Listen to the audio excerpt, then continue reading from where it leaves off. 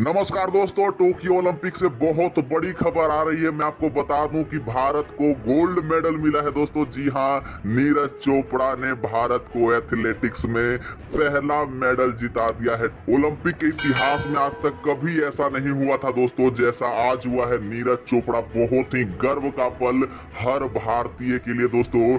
आपको बता दूँ कि इस टोक्यो ओलंपिक में एक सिल्वर आ चुका था, चार ब्रॉन्ज मेडल आ चुके थे, लेकिन गोल्ड नहीं आया था।